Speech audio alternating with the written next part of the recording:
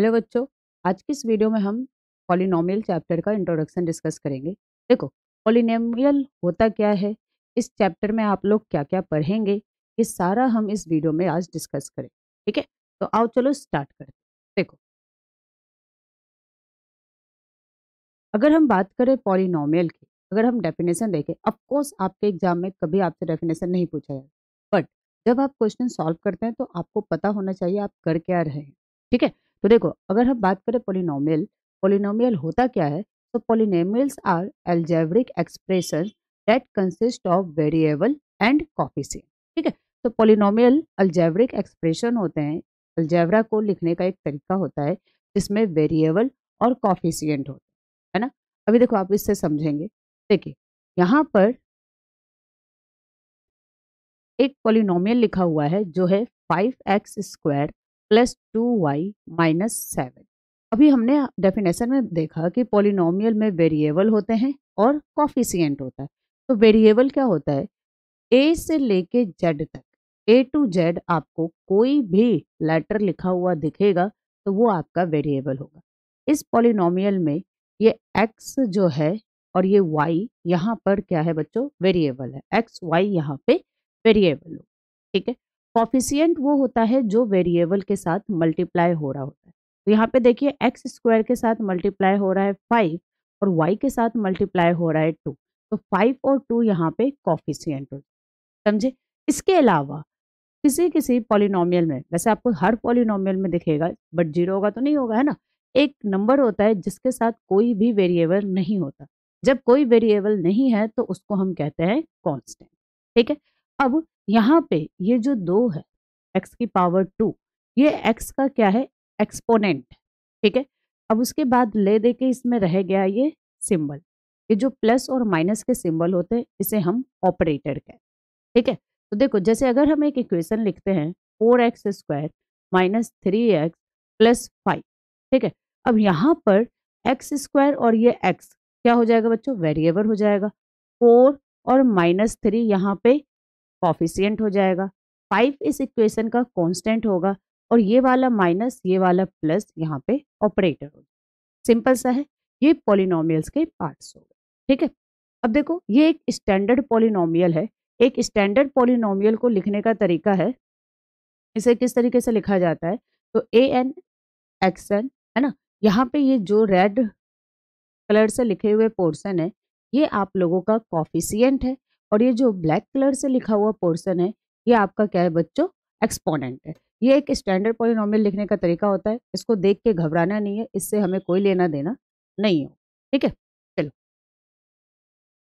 अब हम पढ़ेंगे पोलिनोमियल्स के टाइप्स ठीक है? देखो पोलिनोमियल कई तरह के होंगे। जो हमें, हमारे सिलेबस में पढ़ना है, हम उनकी बात करेंगे।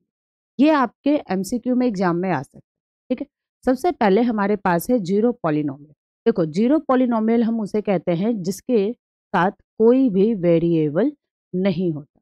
ठीक है? जैसे यहाँ पे फाइव हो गया, इसके अलावा four minus three four minus four है ना?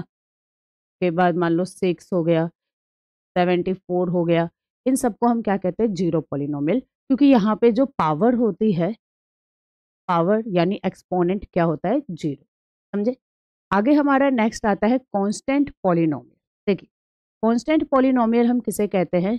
जब यही सारे वर्ड्स, यही सारे लेटर्स अगर पॉलिनोमियल के फॉर्म में, यानी ये पी एक्स के फॉर्म में लिखा हुआ आ जाए तो इसको हम क्या कहेंगे? कांस्टेंट पॉलिनोमियल इसका मतलब क्या है कि यहाँ पे एक्स है।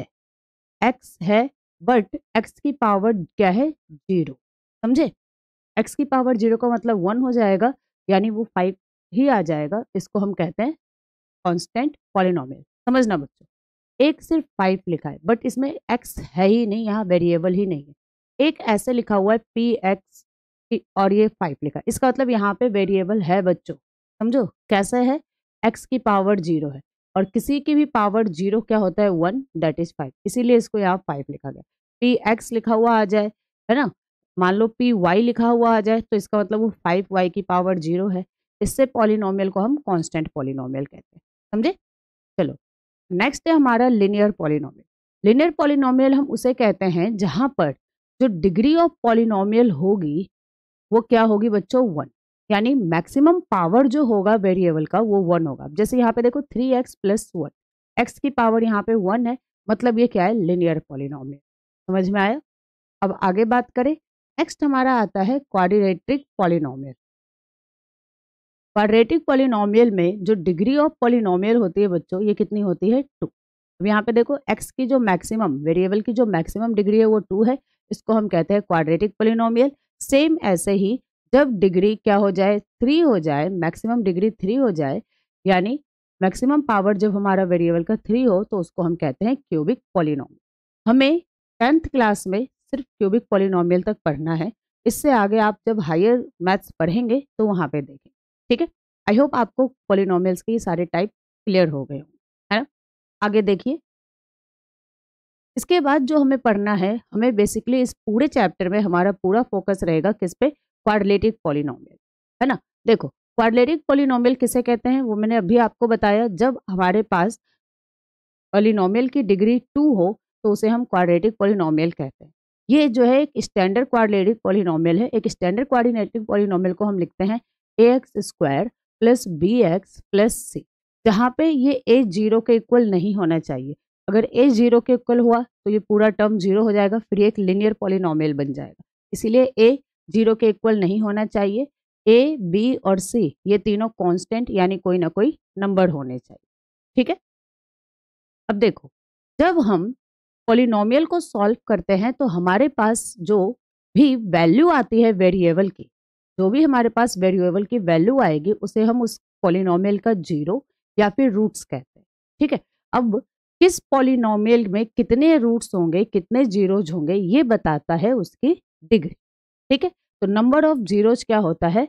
द डिग्री ऑफ़ पॉलिनोमियल जैसे क्वाड्रेटिक पॉलिनोमियल में बच्चों दो होती है डिग्री है ना? इसकी डिग्री कितनी होती है? टू यानी यहाँ पे एक्स के टू वैल्यूज़ निकल करके आएँगे। जिसको हम अल्फ़ा और बीटा बोलेंगे। पूरे चैप्टर समझे? थर्ड चैप्टर में हम इस चीज़ को और ज़्यादा डिटेल में पढ़ेंगे। देखिए, अब आगे हम बात करें तो यहाँ पे हम जब क्वाड्रेटिक इक्वेशन को सॉल्व करेंगे तो क्वाड्रेटिक इक्वेशन को सॉल्व करने के लिए हम यहाँ पे एक मेथड यूज़ करेंगे, जिसे हम कहेंगे मिडिल स्प्लिट टर्म हम मिडिल टर्म को स्प्लिट करेंगे, दो पार्ट में स्प्लिट करेंगे और उसके बाद हम एक्स की दो वैल्यू को निकालेंगे। ठीक है? अब देखिए, जैसे ये हमारा एक स्टैंडर्ड पोलिनोमियल है a x square plus b x plus c यहाँ पे हमने एक एग्ज़ाम्पल लिया है x square minus five x plus six ठीक है? अब हम क्या करेंगे? ये जो हमारा मिडिल टर्म होता है, इसको हम स्प्लिट करेंगे। कैसे स्प्लिट किया जाता है? तो जो एक्स स्क्वायर का कॉफिशियंट होता है और जो कॉन्स्टेंट होता है, इसका हम मल्टीप्लाई करते हैं तो यहाँ पे सिक्स हो जाएगा। अब हम इस सिक्स के ऐसे फैक्टर बनाते हैं, जिसे या तो प्लस करके या माइनस करके हमारा मिडिल टर्म आ जाए। तो देखो थ्री टू जा सिक्स अब हमें यहाँ माइनस फाइव चाहिए तो माइनस थ्री माइनस टू है ना? तो ये थ्री टू जा सिक्स हो गया प्लस का। उसके बाद थ्री और टू को हम माइनस माइनस प्लस करेंगे तो ये क्या आ जाएगा? फाइव अब जब हम इसको लिखेंगे तो देखो हमने इस माइनस फाइव को स्प्लिट कर दिया कैसे? थ्री एक्स और टू एक्स तो ये हो जाएगा हमारा एक्स स्क्वायर इसे हमने स्प्लिट कर दिया two x and three x है ना? प्लस सिक्स अब यहाँ पे देखो एक्स यहाँ भी है एक्स यहाँ भी है। हमने एक्स को कॉमन ले लिया। यहाँ एक्स स्क्वायर यानी एक्स दो बार था। एक हमारा एक्स रह गया, ये माइनस रह गया और यहाँ से हमारा टू रह गया। यहाँ से हमने माइनस थ्री को कॉमन लिया, दोनों जगह यहाँ एक्स बच गया। बाहर माइनस है तो minus plus minus three two जा सिक्स यहाँ पे टू रह गया। अब देखो एक्स माइनस टू दोनों जगह फिर से हमने कॉमन ले लिया। इधर से ये वाला एक्स बच गया और यहाँ से ये माइनस थ्री बच गया। यानी यहाँ पे हमने स्प्लिट किया है मिडिल टर्म को, यहाँ से हमारे पास एक्स की दो वैल्यू आएगी, एक आएगा प्लस का टू एक आएगा प्लस का थ्री जब हम आगे और फर्दर सॉल्व करेंगे। ठीक है? इसे कहा जाता है मिडिल स्प्लिट टर्म यहाँ पे अल्फ़ा और बीटा एक्स के दो जीरोज हो जाएँगे, ठीक है? जैसे अगर मैं अभी इसको और आगे सॉल्व करूँ तो यहाँ पे मेरे पास x minus two is equal to zero होगा और यहाँ पे एक्स माइनस थ्री ज़ीरो। यहाँ पे टू माइनस इधर आएगा, प्लस हो जाएगा, यहाँ पे से थ्री प्लस हो जाएगा। इसको हम अल्फ़ा बोल देंगे तो हमारा अल्फ़ा टू आ जाएगा, इसे हम बीटा बोल देंगे, हमारा बीटा थ्री आ जाएगा। क्लियर हुआ? आगे देखो। तो एक्स हम की दो वैल्यू आएगी, एक हमारी अल्फ़ा होगी, एक हमारी बीटा होगी। देखिए, सबसे इंपॉर्टेंट टर्म है यहाँ पे हमारे relationship between zeros and coefficient तो जो हमारे जीरोज होते हैं जीरोज क्या जो अभी हमने एक्स के दो टर्म निकाले अल्फ़ा और बीटा और जो हमारे कॉफिशियंट होते हैं कॉफिशियंट क्या होते हैं हमारे? ए बी और सी इनके बीच में क्या रिलेशन है? अब हम वो देखेंगे। तो देखिए, हमें दो रिलेशन पढ़ना है। क्वाड्रेटिक इक्वेशन में दो रिलेशन होते हैं, और क्यूबिक इक्वेशन में थ्री रिलेशन ठीक है? अब यहाँ पे हमें क्या करना है? इन रिलेशंस को पढ़ना है। देखो, समझो। जब मैं एक क्वाड्रेटिक इक्वेशन अगर यहाँ लिखती हूँ तो क्वाड्रेटिक इक्वेशन हमारे पास क्या होता है? A x square plus b x plus c is equal to zero ठीक है? यहाँ पे कॉफिशियंट कौन कौन सा हो गया बच्चों? ए बी और सी ये कॉफिशियंट हो गए। यहाँ पे जीरोज क्या होंगे? जो इस एक्स की वैल्यू निकलेगी। अभी हमने लास्ट स्लाइड पे देखा था एक्स की दो वैल्यू निकलेगी, एक होगा अल्फ़ा, एक होगा क्या बच्चों? बीटा, है ना? तो एक्स की जो ये दो वैल्यूज़ निकलेंगी, इसमें और हमारा जो कॉफिशियंट होगा इसमें रिलेशन होता है। दो रिलेशन होते हैं, एक होता है सम ऑफ़ ज़ीरो, ठीक है? यानी अल्फ़ा प्लस बीटा का सम। ये किसके इक्वल होता है? एक्स का जो कॉफिशियंट होगा, यानी ये जो बी होगा माइनस में हम इसे लेते हैं माइनस कॉफिशियंट ऑफ़ एक्स यानी b divided by coefficient of x square that is a तो आपको एग्ज़ाम में इतना नहीं लिखना है, आपको क्वेश्चन सॉल्व करते टाइम सिर्फ़ इतना टर्म लिखना ठीक है? प्रोडक्ट ऑफ़ जीरोज क्या होता है? तो alpha into beta is equal to constant term that is c divided by coefficient of x square that is a फिर हमें एग्ज़ाम में इतना लिखना जब हम आगे क्वेश्चन को सॉल्व करेंगे एक्सरसाइज में, तब हम इसको बहुत सारा यूज़ करेंगे। आप लोगों को अपने आप ये याद हो जाएगा टर्म सारे समझ में आए और हम वहाँ पे इसे प्रूफ करके भी देखेंगे। बहुत सारे क्वेश्चन में प्रूफ करने को भी एग्ज़ाम में आता है तो हम इसे प्रूफ करके भी देखेंगे। ठीक है? आगे देखिए।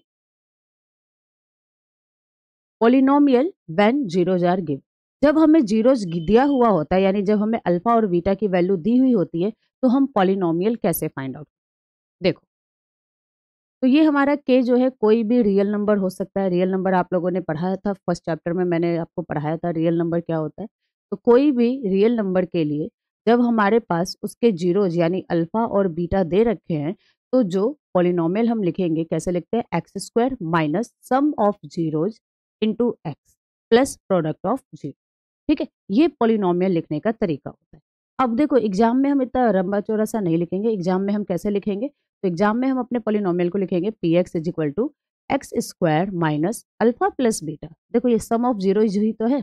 हम डायरेक्ट लिखेंगे alpha plus beta into x plus alpha into beta that is product of zero समझ में आया बच्चों? तो कुल मिलाकर के ये हमारे इस पूरे चैप्टर का इंट्रोडक्शन था। पूरे सेकंड चैप्टर में हम लोगों को बस इतना ही पढ़ना है पोलिनोमियल्स में इतना पढ़ेंगे, हमारा ये पूरा चैप्टर कंप्लीट तो देखिए इंट्रोडक्शन पूरा अच्छे से हो गया है। आप लोग इस वीडियो को अच्छे से देखना, बढ़िया से समझना। यहाँ पे जो भी टर्म्स बताए गए हैं, जो फॉर्मूले बताए गए इनको आप लोग अपने नोटबुक में नोट कर लेना, ठीक है? उसके बाद नेक्स्ट वीडियो में हम लोग आर डी शर्मा के क्वेश्चन को सॉल्व करेंगे, ठीक है? तो चलो मिलते हैं नेक्स्ट क्लास में वीडियो को देखने के लिए और हमें सपोर्ट करने के लिए। Thank you so much